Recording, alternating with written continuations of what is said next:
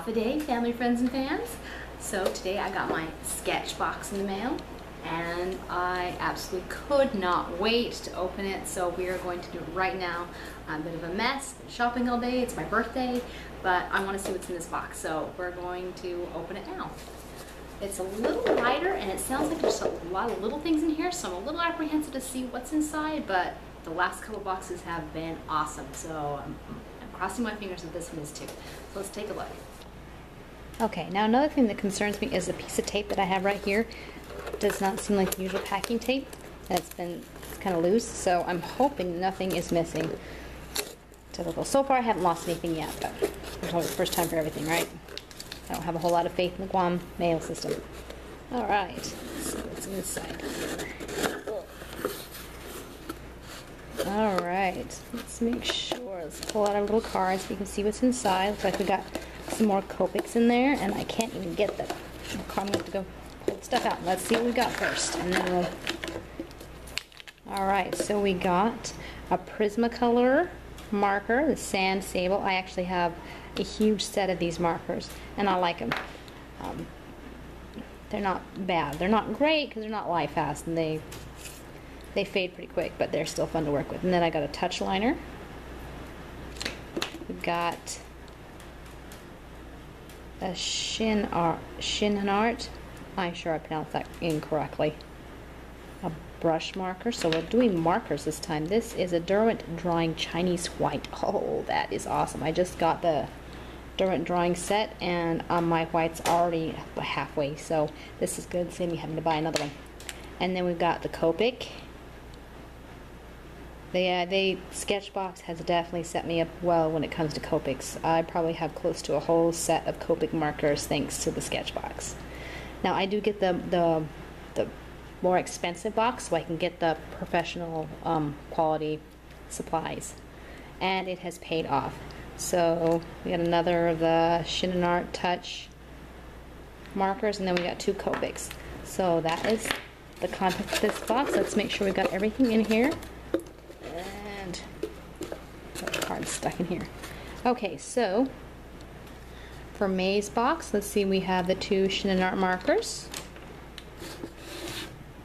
Got those. And then we have the original Copic marker mint green, which is this one. I'm assuming it's this one. I don't think they gave me mint green. No, maybe that is mint green. And green. Okay, read the top.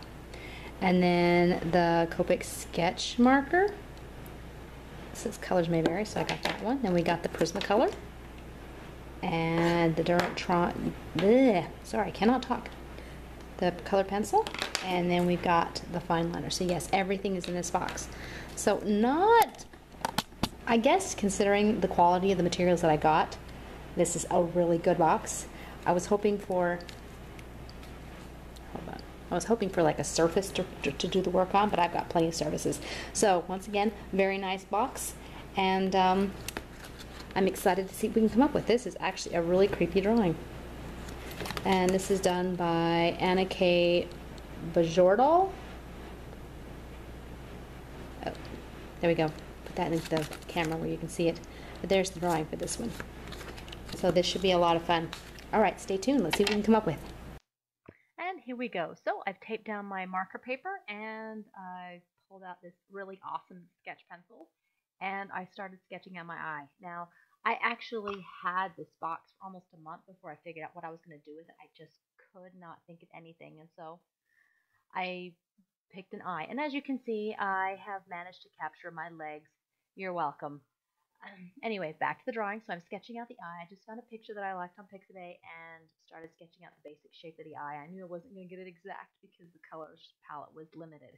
So I'm sketching out the eye and making sure I have at least everything as accurate as I can get it. And as you can see, I wanted to make it bigger, so I erased it and started again.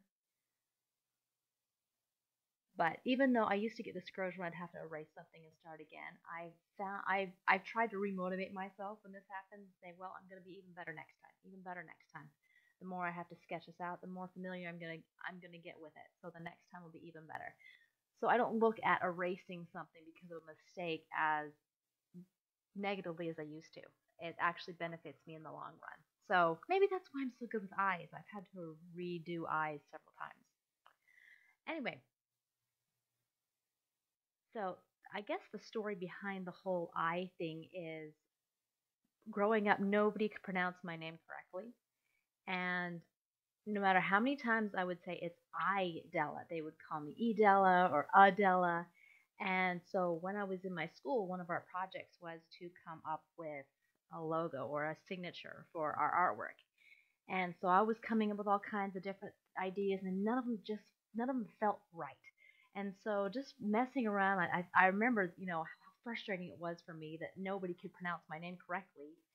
So I decided, well, let's see if we can help with that. And I love tigers, and so I was trying to go with something like a tiger eye ish, and it just turned out the way that it did. So my signature is an I, Della. So now when people see that, there's no mistaking on how to pronounce my name.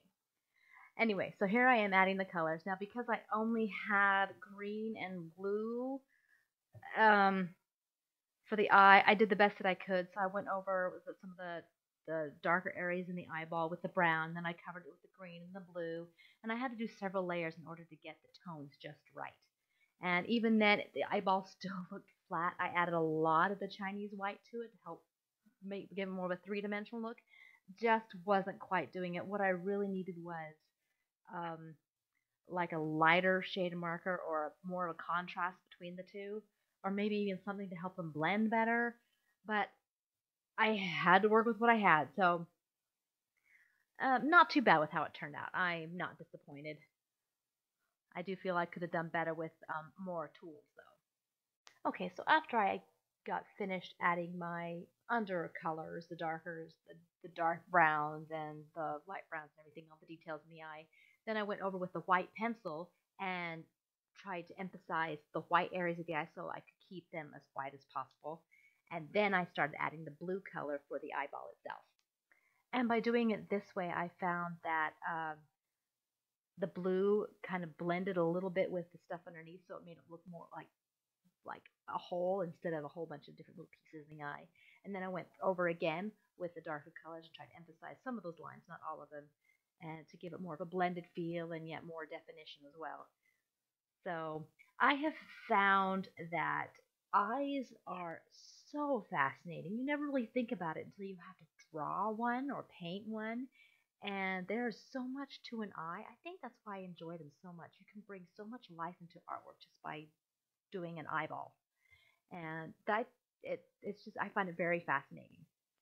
I wish I had more colors to work with. That would have made this a whole lot more fun, and I could have, you know, really gone all out and made more of a more realistic eye. But with the tools that I had, I did the best that I could, and I really like how it turned out. I wasn't going for realistic. I was just going to, you know, definitely make something look like it. Now, one thing I noticed while working with these three different brands, the Prismacolor, the ShinHan Art Touch, and the Copics, is they all work very well together. Now, I've already had experience with Prismas, and I like them, but they their blending uh, was not as great as I was hoping.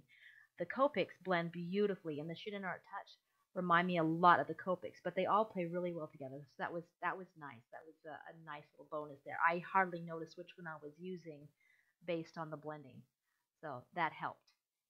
Now, as with the now here I am. I I have a piece of palette paper to the side of me, and I'm using that to um, scribble the marker on, and uh, and then I would take uh, another marker and blend it into that so I could get more of variation in color and blending.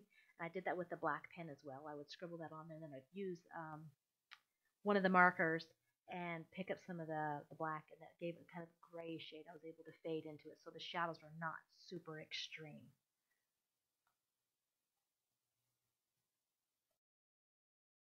And I also found that if I, worked really fast, I could lay down the black and then go immediately over with a different marker, and that would also give it a gray shade as well. So there was various ways that I could blend things and make it smoother, which is a nice, nice little tip for when I finally pull out my Winsor Newton pigment markers and use them. Again, when I find time. Anyway, so this is where I'm getting ready. I'm trying to find out where the, the eyelash line is and I'm emphasizing with the black marker and the blue marker, going over the gray, going over the black with the blue, so give it a kind of a shade, a blending. Wow, I cannot talk today. And then I add the white in there to add some highlights, give it some more of a three-dimensional look. And here I decided it was the best time to turn on my overhead light. So that's why the lighting changed. I apologize for that. So here I am going over and filling in the whites of the eyes. Excuse me. I just couldn't get it to light lighten up enough to feel comfortable coloring the whole eye. So I just left the majority of that white area white. Which is fine. Even though it looks funky right now, I knew that if I put lashes in it, it was going to turn out a lot better. So excuse me, for some reason my voice is trying to leave me. Now this is where I use the blending with the black marker technique quite a bit so I could add the shadows underneath the eyelid. Um, I just scribbled the black on the palette paper and picked it up with the, I believe it was the blue marker I used, and then I was able to add the darker shades underneath the upper lid. Now I'm going over and blending in the, the black more on the lower lid with one of the, I think it was the touch marker. And then adding the white, trying to blend out the the eye, white part of the eye a little bit more so it'll blend better without that high, you know, transition. It almost worked. So just want to make sure everything looks the best that I can before I add the eyelashes. because I knew that was going to pretty much finalize everything. So here we go. And of course the eyelashes are the funnest part anyway. Now if you notice, the eyelashes not go straight up and down. I actually loop down over the eyeball itself and then I go up and I don't they don't go straight up and down. They crisscross and all kinds of things. So that right there will help help add dimension to your eye as well. And the same with the lower lid, not straight up and down, and they do not go directly onto the eye itself. There's actually a little lip there as well. It's called the tear line. Something I just recently discovered after doing eyes on a regular basis. So here I am finishing up the eye line, and now for the grand finale, sign it with my eyeball signature, untape it, and we are good to go. This is a lot of fun, and I can't wait for the next Sketchbox, which will be any day now. Okay, well, hopefully you all enjoyed that. Let's recap on the Sketchbox for May of 2018. Now, I've noticed the more that I use Copics, the more that I'm impressed with them. I wasn't really impressed with them before. I never really used them, and I wasn't much of a marker fan, but I really like how well they blend. Now, I clearly have an obsession with eyes, which is probably why my signature is an eye. But I have a lot of fun. So, and I couldn't think of what to draw with the colors that they gave me. And then it just came to me, well, why not draw an eye? That seems to be my default. So that's what I did. Now, I already have this set of pencils and I love them and it works real pretty good for going over the marker. I just I guess I wasn't being brave enough and I didn't fill in this area right here. So it looks a little odd. It's not great, but it's not bad considering it's done with marker. And let's see, the other markers, I really like the Copics. They're really nice markers. And the Touch are actually not bad either. They are very smooth and they blend very well as well. And let's see, and I noticed that if I kept, if what I did is if I wanted to get a smoother feel, I would um, color on a piece of uh, palette paper. And that way the markers uh, would stay uh, moist enough that I could um, pick it up with another marker and that way blend my colors a little better and that seemed to work well and that's how I was able to get darker tints as well with this marker. I would color that on and use the marker I was going to use to darken and to pick up some of the black. So that's how I got some of the, the darker shadows and stuff in there. I'm sure if I had a bigger set of the markers with a wider range of color, I could have made this eye look a lot better. But I'm really happy with how it turned out. It was a lot of fun to do this. And I was actually thinking last night, hmm, I wonder what I could do with my markers when I knew I had a commission I had to work on. So instead of doing markers, I worked on my commission.